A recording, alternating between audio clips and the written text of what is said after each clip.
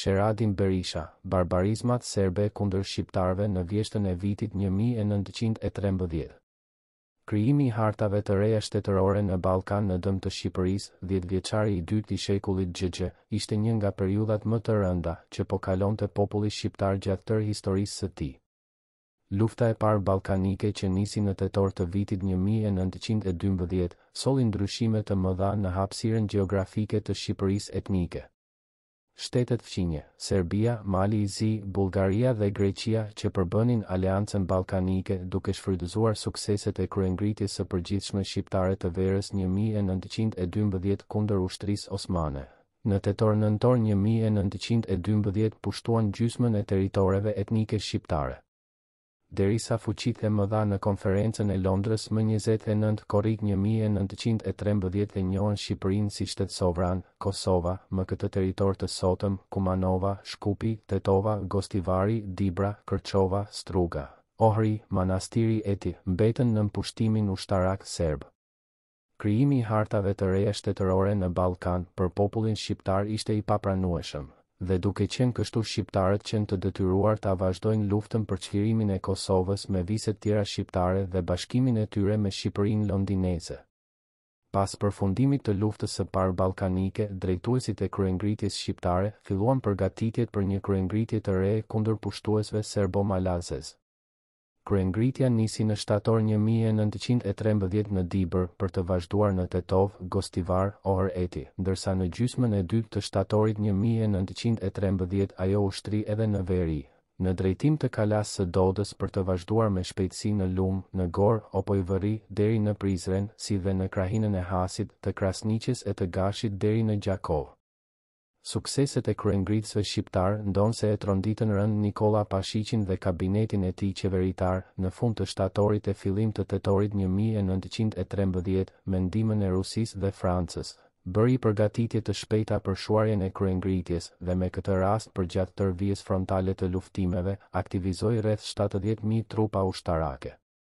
Një amnisti u shpall në Beograd nga qeveria në tetor një mijë e nëntëqind e trembëdhjetë, por masakrat kundër popullit shqiptar vazhduan. Ushtria serbe gjatë këtij operacioni pushtues ushtroi një terror të pashembullt ndaj popullit shqiptar, edhe pse qeveria serbe në Beograd kishte shpallur formalisht një amnesti. Kudo që shkeli këmba e ushtarit serb, vrau e masakroi shqiptarë, si dhe plaçkiti, dogji, shkrumboi e shkatërroi çdo gjë që gjente para vehtes. Përmasat e masakrave serbe Për përmasat e masakrave serbe ka shkruar shtypi shqiptar dhe i huaj, ndërsa Leon Freundlich i ka përmbledhur në një libër me titull Albanians Golgotha një mijë e nëntëqind e trembëdhjetë Golgota Shqiptare një mijë e nëntëqind e trembëdhjetë.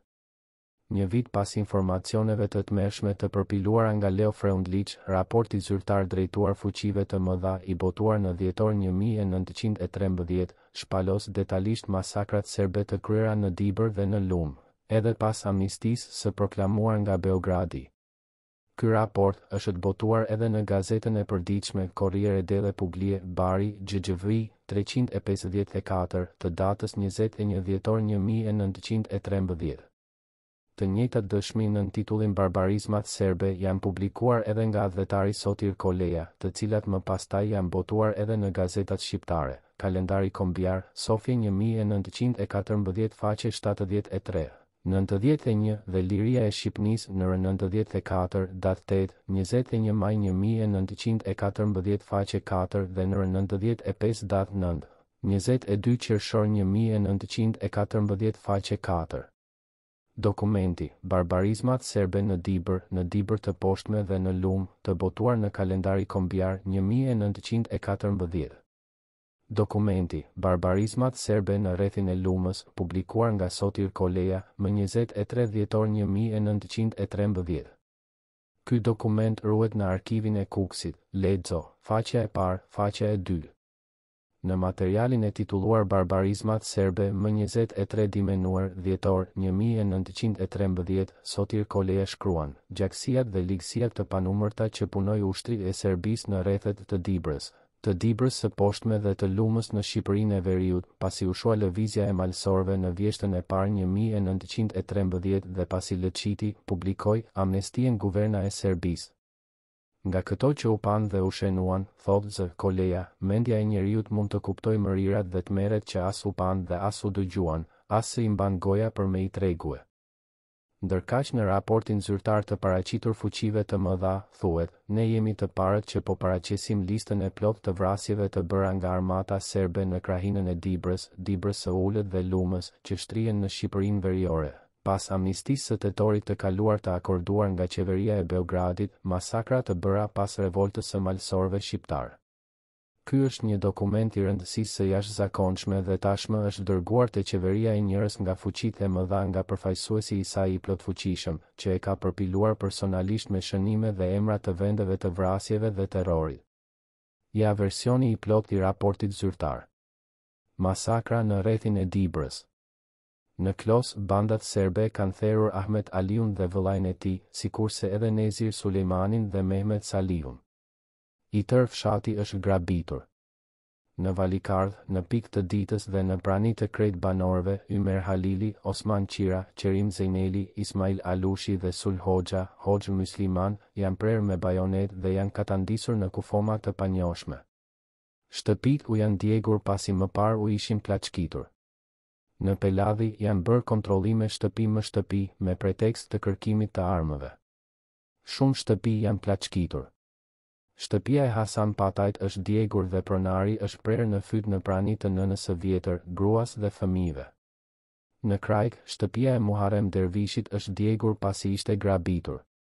Në Zerqen, krejt shtëpitë janë grabitur dhe djegur. Në Sopot, i tërë fshati është rrënuar dhe plaçkitur. Shumë shtëpi janë djegur. Të gjitha kafshët janë vjedhur dhe këta persona janë therë në bajonetë, Ali Kamberi, shërbëtori i tij, Hamza Disha, si dhe Salih Selimi. Në Dibër, qytet, disa orë para sulmit të malësorëve, prefekti lokal dhe komandanti ushtarak arrestuan tetëmbëdhjetë udhëheqës të qytetit, që janë ekzekutuar pa u gjykuar, Ramiz Karanfili, Sheh Huseini, Numan Hasani dhe Safet Bej. Të tjerët mbijetuan falë hyrjes në atë kohë të malësorëve në qytet dhe ushtria serbe u detyrua të ikë me ngut. Kur u kthyen në qytet, serbët e plaçkitën krejt qytetin dhe morën me vete mbi një milion lira turke të vjedhura. Shumë shtëpi u dogjën, posaçërisht ato e Ali Beut, Rakip Çatibit dhe Kurtish Agajt. Me vrazhdësi të paparë, serbët po ashtu i masakruan shumë njerëz të tjerë, mes të cilëve kishte edhe të tillë që bënin punët e tyre dhe s'merrin pjesë në kryengritje. Mes të masakruarve ishin, Kurtish Aga, Behxhet Efendi, Haxhi Syreja Efendi, Reshid Efendi Kusari dhe Sadullah Shtrazimiri. Në këtë çast, qyteti i Dibrës është thjesht i shkretë, sepse banorët kanë ikur në mal. Në qytet kanë mbetur vetëm dyqind apo treqind veta të të dyja gjinive. Në Gjoricë, një ditë pas vizitës së një oficeri të dërguar nga qeveria austriake, që ishte duke kaluar dhe verifikuar tërheqjen e ushtrisë serbe nga rajoni, serbët u rishfaqën në fshat dhe vranë një grua dhe një fëmijë pesëvjeçar. Ata, po ashtu, e plagosën një grua tjetër. Në Homesh, vetëm tri nga njëqind e pesëdhjetë shtëpitë e katundit qëndrojnë në këmbë. Të gjitha janë djegur pasi që ishin plaçkitur. Pasi janë dorëzuar, serbët i kanë vrarë, Musa Ismailin, Shemsedin Bajramin dhe Halit Sulejmanin, që ishin kthyer në fshat pas amnistisë. Herën e parë i morën një mijë krerë dele, njëqind e pesëdhjetë krerë gjedhe dhe dyzet kuaj. Herën e dytë, ata morën pesëdhjetë krerë dele, nëntë krerë gjedhe dhe nëntë kuaj. Në Shupenc, pas vjedhjes së shtëpive dhe marrjes së gjërave të vlefshme, serbët masakruan, Ali Myslimin dhe vëllain e tij Abdiun, Hasan Abazin dhe Dalip Elmazin. Në Okashtinë, vetëm një shtëpi qëndron në këmbë nga shtatëdhjetë e katër sa ishin. Të gjitha janë plaçkitur dhe djegur. Dy burra të quajtur Ferhat dhe Nazif janë prerë me bajonetë. Krejt kafshët janë marrë.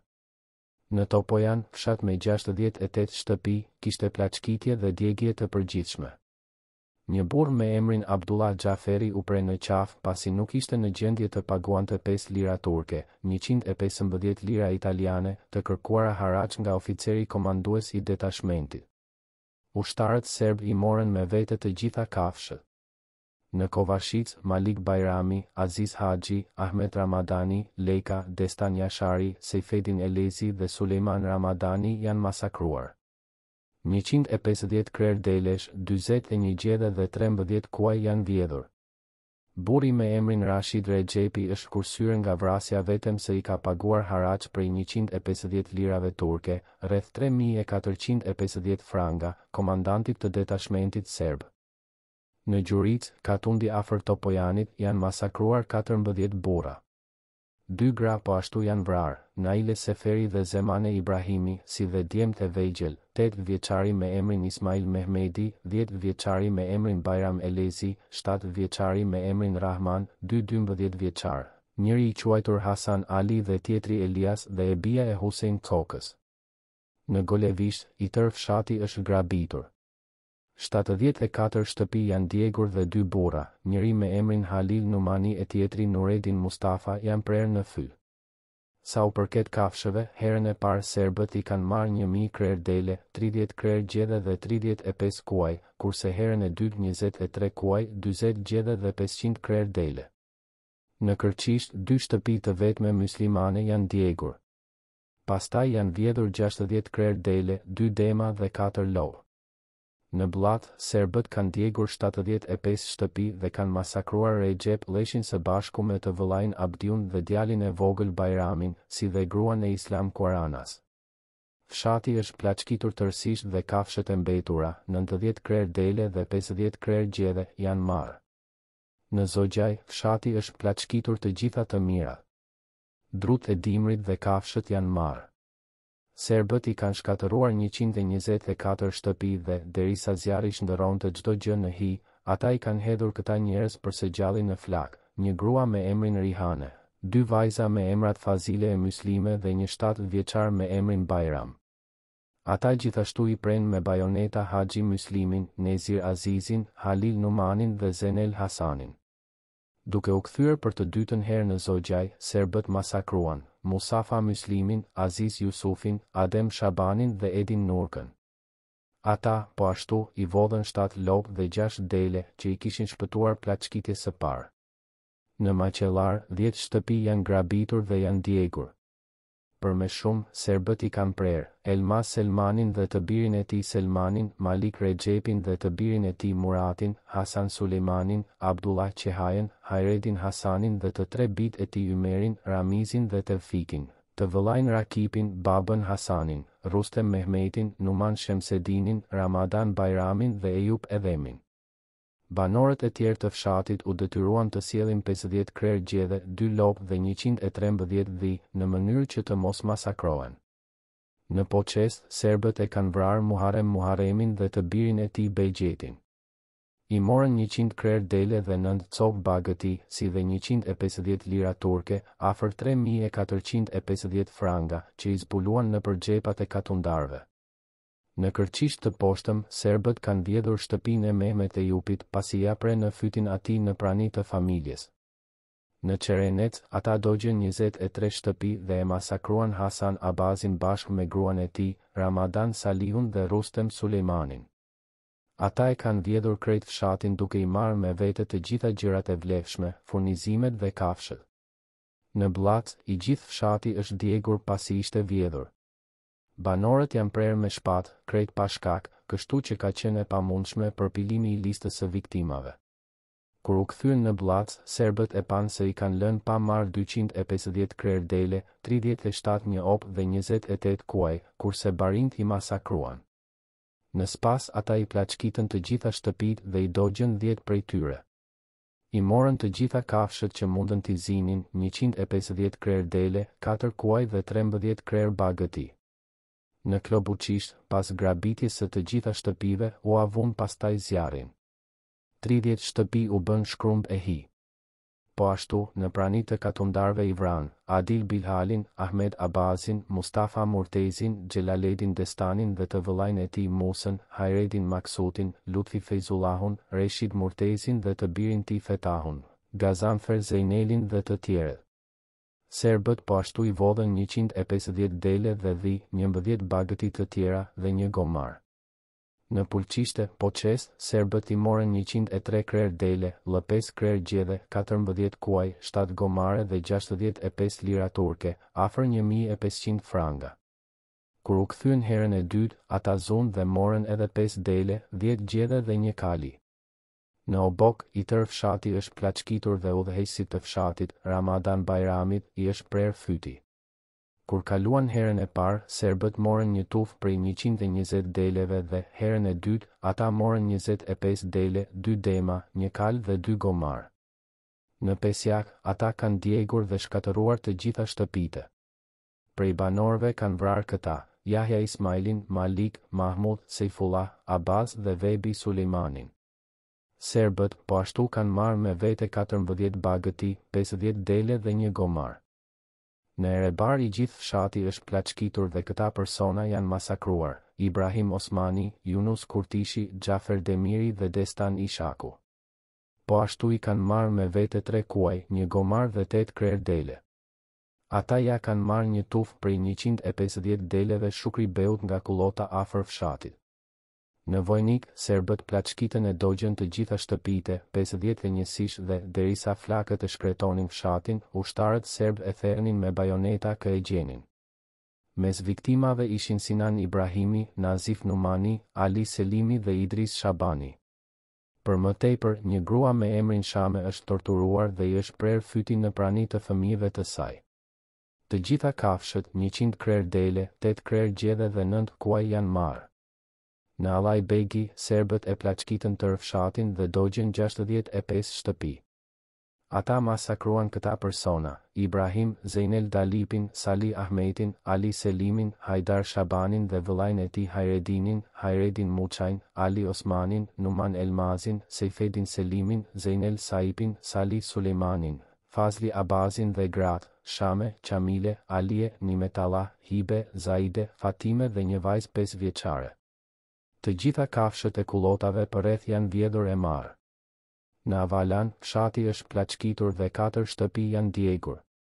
Kryeplaku i katundit Ismajl Ismajli është prerë në fyt dhe kafshët, nëntëdhjetë krerë dele, gjashtë kuaj dhe një gomar janë marrë. Në Çankë, pasi fshati është vjedhur, nëntë shtëpi janë djegur. Prej banorëve të fshatit janë prerë këta, Beqir Rustemi, Husein Abazi, Shahin Numani dhe Zejnullahu. Ata po ashtu i morën me vete trembëdhjetë kafshë. Në Kovaçicë, i tërë fshati është plaçkitur dhe tridhjetë e dy shtëpi janë djegur. Të masakruar ishin, Elias Dauti, Nuredin Nurçe, Salih Osmani dhe Zejnel Troza.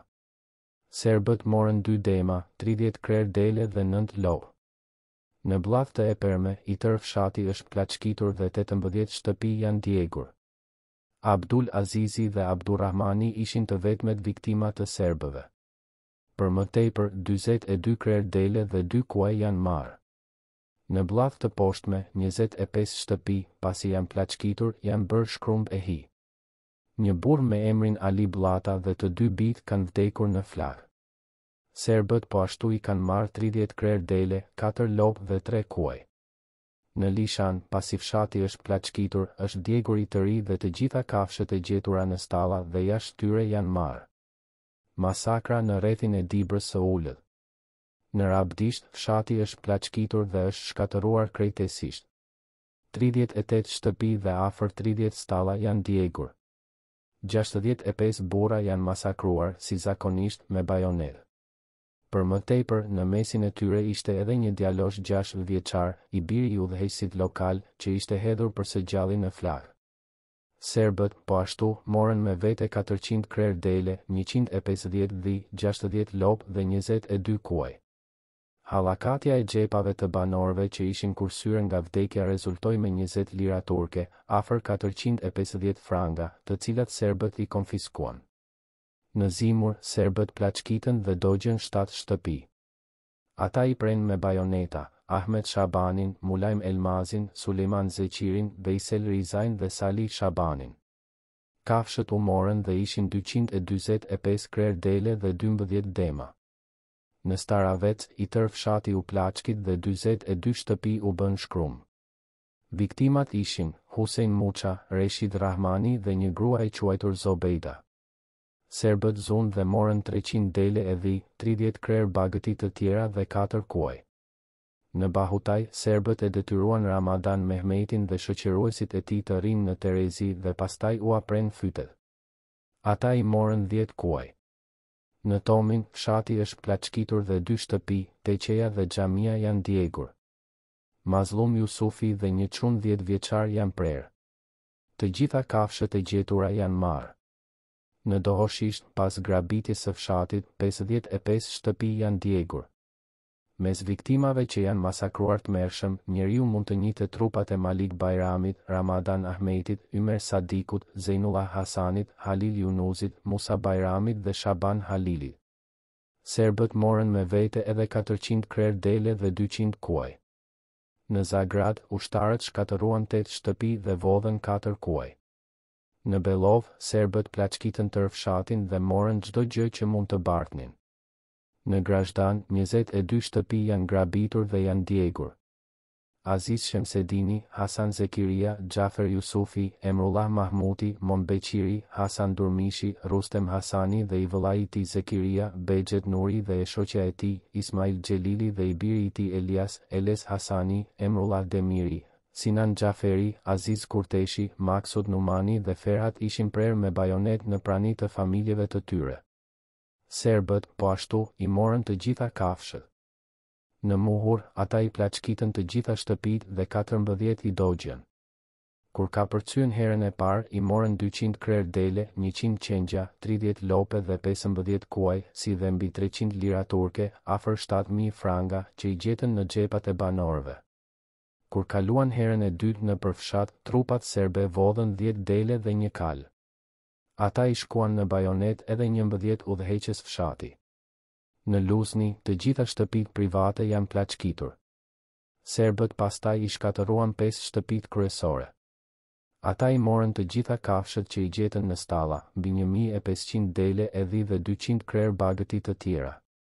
Dëmet njerëzore, të vrarë me bajoneta, janë dyzet e pesë veta, emrat e të cilëve me kujdes janë verifikuar dhe regjistruar. Në Çetush, katër shtëpi janë djegur dhe personat, Asma Hasani, Zejnel Shabani dhe Osman Numani janë masakruar. Tre kuaj janë vjedhur. Në Brezhdan, serbët plaçkitën dhe dogjën shtatëmbëdhjetë shtëpi.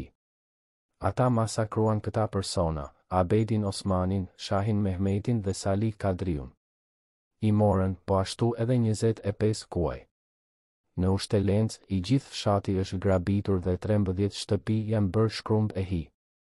Janë masakruar këta persona, Numan Rrustemi, Muslim Zeki dhe Mehmet Gota. U morën edhe shtatëmbëdhjetë kuaj e gjashtë dema. Në Deshat, serbët dogjën pesëmbëdhjetë shtëpi dhe e hodhën një djalosh dhjetëvjeçar e dy gra në flakë për së gjalli. I vodhën pesëdhjetë krerë bagëti dhe pesëqind krerë dele.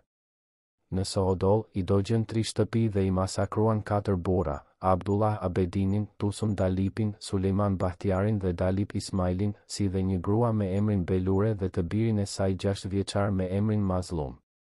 Po ashtu, i vodhën edhe dyqind dele e tridhjetë kuaj. Në Borovjan, serbët i dogjën dy shtëpi dhe prenë në fyt Rrustem Muharremin, në prani të familjes së tij. Po ashtu i morën njëzet e shtatë krerë bagëti, njëqind e nëntëmbëdhjetë dele dhe pesë kuaj. Në Rashnopojë, ata plaçkitën në tërësi shtëpitë, por nuk mundën t'i digjnin asnjë prej tyre. Ata i prenë në fyt gjashtë fshatarë udhëheqës, Bajram Mehmetin, Malik Rakipin, Selman Rakipin, Bexhet Behlulin, Osman Azanin, Hajredin Malikun dhe vodhën njëzet dema. Në Cerjan, serbët shkatërruan shtëpitë dhe vranë tre burra, Fazli Sulejmanin, Jashar Hejbatin dhe Bektesh Arsllanin dhe një grua, Zobejden. I morën katërmbëdhjetë kuaj dhe gjashtëdhjetë krerë dele. Në Pilaf, të gjitha shtëpitë janë plaçkitur dhe pesë prej tyre janë djegur. Serbët e prenë me bajonete Dalip Ramadanin në prani të së ëmës së tij të vjetër. Në Pilaf Mahal ata grabitën të gjitha shtëpitë dhe shkatërruan tetë nga to e vranë Hasan Fetahun, Salih Jusufin dhe të bijën e tij gjashtëvjeçare Fatimen. Për më tepër soldateska serbe i vërviti djemtë e vegjël, gjashtëvjeçarin me emrin Shukri dhe katërvjeçarin me emrin Hasan në flakë. U morën njëqind krerë bagëti, dyqind krerë dele dhe tetë kuaj. Në Pollozhan, krejt katundi u grabit dhe tri shtëpi u dogjën. Këtu mbetën njëmbëdhjetë viktima, Hajredin Vehta dhe vëllai i tij Azizi, Jusuf Uka, Hajredin Shkurti, Husein Zejneli, Hajredin Halili, Said Pasha, Emin Shahini, Elez Numani dhe vëllai i tij Osmani dhe i biri i këtij të fundit. Sa i përket kafshëve, ata morën pesëdhjetë krerë dele dymbëdhjetë dema dhe katër kuaj. Në Gliçë, Blliçe, të gjitha shtëpitë janë plaçkitur dhe pesë sish janë djegur. Serbët ua prenë fytin tre burrave, Xhafer Rustemit, Destan Hasanit dhe Xhemal Salihut dhe një gruaje, Ajshes. I morën dyqind e pesëdhjetë krerë dele dhe tridhjetë kuaj. Në Limjan, i tërë fshati u grabit. Në mesin e banorëve që u prenë me bajoneta ishin Hasan Shahini, Sejfullah Ibrahimi, Abdurrahman Fetahu, Qerim Sadiku dhe Bajram Xhelili. Po ashtu, i morën dyqind krerë dele, njëzet lopë dhe dhjetë kuaj. Në Peshkopi, pasi u plaçkitën të gjitha shtëpitë, pesëdhjetë e shtatë nga to, mes tyre edhe më të rëndësishmet, u dogjën. Të masakruar ishin, Xhelaledin Abazi, Ali Ymeri, Xhelman Selmani, Hasan Arslani, Hajredin Shabani dhe Murat Demiri. njëqind e tetëdhjetë krerë bagëtish, katërqind e pesëdhjetë dele e dhi, pesëmbëdhjetë mushka dhe njëzet kuaj janë marrë me vete. Në Trepçë, katundi u plaçkit dhe Zejnullah Ahmeti u pre me egërsi në sy të familjes së vet dy kuaj dhe pesëdhjetë e shtatë krerë dele janë marrë. Në Çidhen, tridhjetë shtëpi janë bërë shkrumb e hi. Tre burra ishin mes viktimave, Kitan Keloshi, Hasan Hani dhe Arslan Sadiku. pesëqind dele e dhi, dyqind krerë bagëti, trembëdhjetë kuaj dhe tre gomarë janë marrë. Në Rencë, serbët shkatërruan pesë shtëpi, ia prenë fytin Zejnel Ahmetit në shkallare dhe morën njëqind dele e dhi, dymbëdhjetë lopë dhe pesë kafshë të tjera. Tregimi i masakrave mban me vete listën tmerruese të zbulimit të martirizimit të rinisë shqiptare. Detajet janë pajisur edhe me vrasjet e bëra në pjesë të tjera të krahinës së Dibrës së Ulët të Shqipërisë veriore, siç janë në Dipjak, grabitje e përgjithshme ku ndodhi vrasja e një burri me emrin Beqir Sulejmani dhe ku u paguan haraç dyzet e pesë lira turke nga banorët për komandantin serb që të ndalte masakrën. Por, të gjitha kafshët i morën. Në Venisht, grabitje dhe rrënime. U prenë në fyt Beqir Asimi dhe Idriz Tahiri dhe u plaçkitën të gjitha kafshët. Në Sllatinë tridhjetë shtëpi u shkatërruan. Bahtjar Idrizi u dogj i gjallë dhe një mijë e treqind e gjashtëdhjetë e pesë krerë të bagëtive u morën.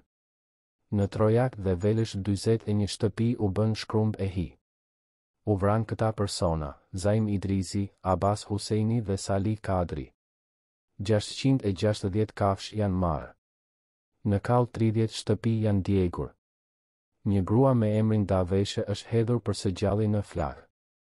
Bajram Rustemit iu pre fyti në shkallaret e shtëpisë së tij.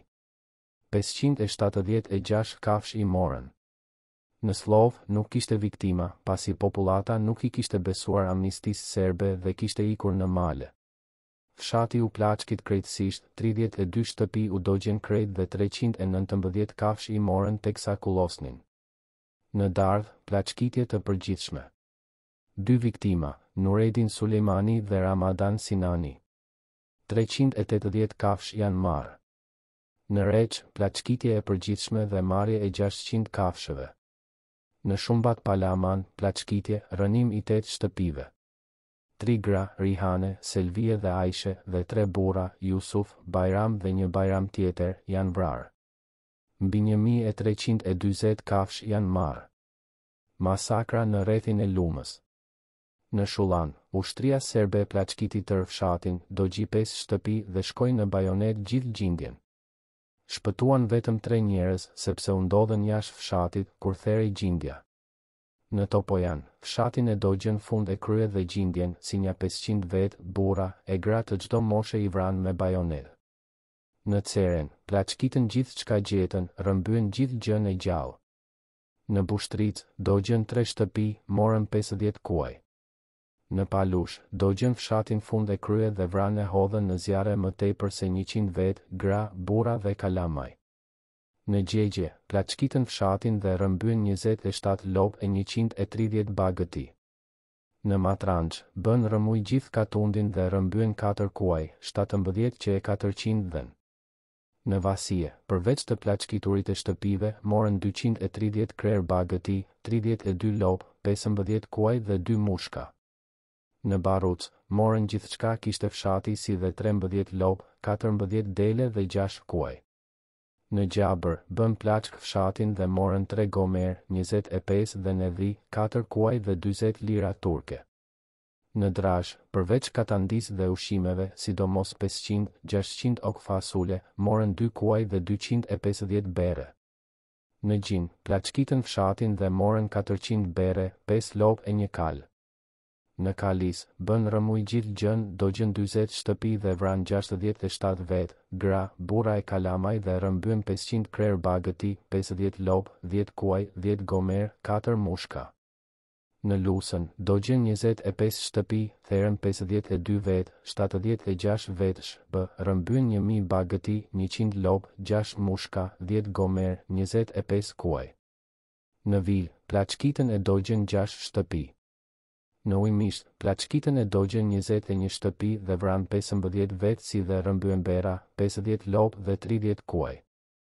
Në Xhafere, këtë fshat prej njëzet e pesë shtëpiash e dogjën fund e krye dhe gjithë gratë e burrat i vranë me bajoneta, dy veta që s'u ndodhën në fshat, shpëtuan. Në Breki, edhe këtë fshat prej më se njëqind e pesëdhjetë shtëpiash e bënë hi dhe njerëzit, sa u ndodhën aty. Në Lojme, dogjën gjashtëdhjetë shtëpi dhe therën gjithë meshkujt, gra e çilimi. Në Nimç, katundin e bënë hi nga njerëzit shpëtuan vetëm pesë vetë, të tjerët, burra, gra e foshnje i shkuan në bajoneta. Në Përbreg, fshatin e tërë e dogjën dhe e bënë hi dhe gjithë njerëzinë, treqind e shtatëdhjetë e pesë veta burra, i shkuan në bajonetë. Në Surroj, dogjën njëqind e tridhjetë shtëpi dhe vranë pesëdhjetë e pesë burra e dy gra, të cilat i zunë besë amnestisë. Në Novosej, i vunë zjarr tërë fshatit. Serbërit arritën që të vrasin të shoqen e Islamit Hanxhiut, katër fëmijët e tij dhe tërë fëmijët e Ramadan Isufit, të cilët i hodhën të gjallë në zjarr. Gjë e gjallë që rrëmbyen serbët janë, dyzet kuaj, dyqind e tetëdhjetë lopë e qe, një mijë e treqind dhen e dhi. Në Bardhoc, dogjën tërë gjan e Haxhiut të Bardhocit. Në Sulaj, Sumaj, dogjën njëzet e katër shtëpi vranë një fshatar dhe rrëmbyen pesëqind dhen, dhjetë dhi, dhjetë kuaj. Arrëz, dogjën dhjetë shtëpi dhe vranë tetë vetë. Si i përshkruan masakrat serbe shtypi i kohës. Vuksanoviq, shqiptarët në fillim i vritnim me pushkë dhe patllake, por së shpejti erdh urdhëri të theren me thika. për shkaqet e shpërthimit të kryengritjes shqiptare të vjeshtës së vitit një mijë e nëntëqind e trembëdhjetë dhe për përmasat e masakrave serbe të kryera ndaj shqiptarëve, kanë shkruar personalitete serbe, edhe ata që morën pjesë në masakra, si dhe vetë shtypi serb i kohës. Një tablo realiste të gjendjes së rëndë në tokat e pushtuara shqiptare, na jep socialdemokrati serb Dimitrije Tucoviq.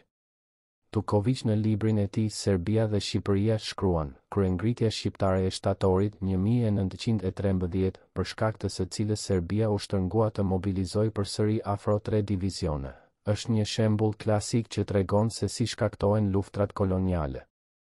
Okupimi i ushtrisë serbe shtrihej prej lindjes e deri në dyert e grykave dhe të qafëmaleve shqiptare. Ky okupim e ndau bujkun prej arës, bagëtinë prej kullosave, kopetë prej lugjeve, fshatin prej mullirit, blerësin e shitësin prej tregut, rrethinën prej qytetit, kurse tërë popullsinë malore prej qendrave ekonomike dhe drithoreve të saj. Shqiptari i andejshëm, i Shqipërisë londineze, SHRB, nuk guxonte të shkelte më në tokën e tij që i kishte mbetë në këtë anë, në Kosovën e pushtuar, SHRB. Të gjitha burimet e jetës iu prenë. Populli i dëshpëruar dhe i uritur pa masë, së pari u lut të vijë lirisht në tregje. Por, kur iu ndalua edhe kjo, ndërmjet vdekjes nga uria dhe vdekjes nga plumbi, ai zgjodhi këtë të dytën, plumbin, SHRB. Krimet serbe në Dibër e më gjerë i ka parë për së afërmi edhe shkrimtari Haki Stërmilli. Ai për masakrat serbe në Dibër, shtator-tetor një mijë e nëntëqind e trembëdhjetë, shkruan, Në qytet, Tabakhaneja, që ishte thertore bagëtish, u bë thertore njerëzish. Qytetit i vinte erë gjak njeriu, kudo mbretëronte pasiguria dhe një heshtje tmerri. Përveç Tabakhanes edhe në qytet brenda, ndër postat e xhindarmërisë kishte nga një burg, ku mjaftonte vetëm urdhëri i postkomandantit ose dëshira e ndonjë xhindarmi që të njomeshin mirë muret e atij burgu me gjak shqiptarësh të pafajshëm. Ndërkaq gazeta e Zagrebit, Hrvatska Novosti, shkruan, Çudi e madhe!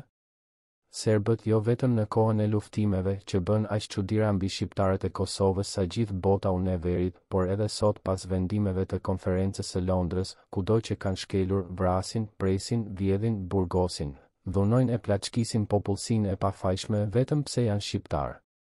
Gazeta Daily Telegraph shkruan, Historia nuk njeh persekutime më të fëlliqura sesa pasojën e llahtarës së duarve dhe shpirtit të trupave, reparteve, të gjeneral Jankoviqit. Për shpirtin shoven të reparteve serbe të vdekjes kanë shkruar edhe vetë xhelatët serbë. në gazetën serbe Radničke novine nr. dyqind e dymbëdhjetë, Beograd, nëntë tetor nëntëmbëdhjetë mijë e njëqind e njëzet e tre, një ushtarak serb, në një letër të publikuar për masakrat serbe në Lumë ndër të tjera shkruan, Mund të them se këtu ndodhin gjëra të lemeritshme. Unë rrënqethem nga e gjithë kjo dhe gjithnjë pyes vetveten, vallë është e mundur që njeriu të jetë kaq barbar dhe të bëjë kështu? Kjo është e tmerrshme e llahtarshme. Nuk guxoj dhe s'kam kohë të të shkruaj gjerësisht. Mund të them se Luma nuk ekziston më. Gjithçka është shndërruar në kufoma, hi e pluhur.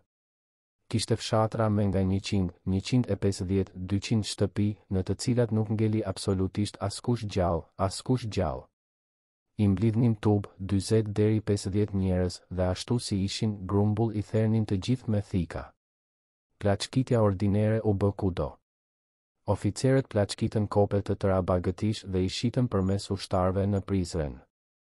Po në gazetën Radničke novine Beograd tetor një mijë e nëntëqind e trembëdhjetë, socialdemokrati Dimitrije Tucoviq, për masakrat e ushtrisë serbe, ndër të tjera shkruan, Kur trupat serbe shkatërruan fshatin Topojan, fshat i Lumës, Sh.B., aty s'kishte burra. Oficerët rezervë që morën urdhër ta djegin fshatin dhe të thernin me thika, kot kundërshtonin, kot i përsëritnin fjalët të gjithë a? Të gjithë ishte përgjigjja e njëfarë kapiten Jurishiqit. Për dy orë u vranë pesëqind shpirtëra. Shqiptarët e egër ushtarët tanë të zënë robë i çarmatosnin dhe i lëshonin, kurse ushtria jonë e kulturuar e shekullit XX po i vret edhe fëmijtë e tyre. Ndërsa një ushtar i quajtur Vuksanoviq për masakrat e kryera, rrëfen si vijon, shqiptarët në fillim i vritnim me pushkë dhe patllake, por së shpejti erdh urdhëri se nuk kishte levërdi të shpenzohet municioni, prandaj shqiptarët do të theren me thika. Dhe kështu ndaheshin në grupe grupe, rreshtoheshin në rreshta me fytyra të kthyera kah njëri tjetri dhe atëherë oficerët dhe nënoficerët i thernin shqiptarët një nga një në qafë. Këta njerëz fatëkqinjë as që luanin nga vendi, as nuk bërtisnin, as nuk mbroheshin, thuajse nuk ishin qenje njerëzore të vetëdijshme, por shikonin të qetë si i therrej shoku pranë dhe thika po ia shpërthente fytin e tij. Nuk mund ta merrja me mend një gjakftohtësi dhe qëndrueshmëri të këtillë njerëzore, të cilët e shikonin vdekjen me sy të hapur. Është kjo njëra nga skenat më të llahtarshme që e përjetova gjatë luftrave. Duhet të vdesin disa gjenerata të shqiptarëve që të harrohen ato, çfarë kanë bërë serbët ndaj tyre, shkruan Radničke Novine, Beograd, datë njëzet e dy tetor një mijë e nëntëqind e trembëdhjetë.